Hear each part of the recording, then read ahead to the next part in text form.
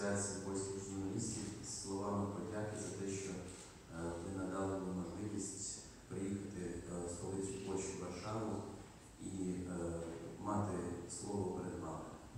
E, Przy tym, jak rozpocząć swoją opowieść, e, chciałbym e, zwrócić te słowa wdzięczności do Was, do dziennikarzy, do Stowarzyszenia Polskich Dziennikarzy, że mam okazję wystąpić tutaj przed Wami, przyjechać do Warszawy i tutaj z Wami przebywać. 这样的一个。